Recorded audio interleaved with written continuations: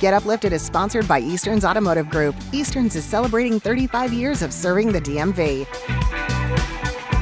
625 on a Tuesday morning, and it's time to get uplifted with a gesture that came right from the heart. VCU Medical Center just opened the doors at an all-new children's tower in Richmond, Virginia. And first responders from across the state fill the streets around it with their emergency vehicles, welcoming the first patients with flashing lights and blaring sirens.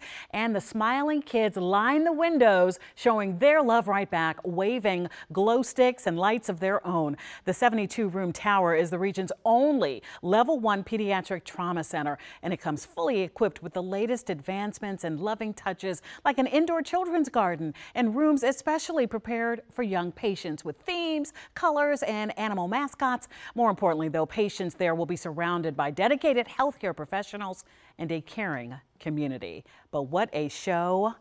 When uh, down from below and from within the windows, all it was was a glow. I want to share things that uplift you. You can email us at getuplifted at WUSA9.com. You can also reach out to me on Twitter, Instagram, or on our Get Up DC social pages. And a big thank you to Josh for sharing that story with us.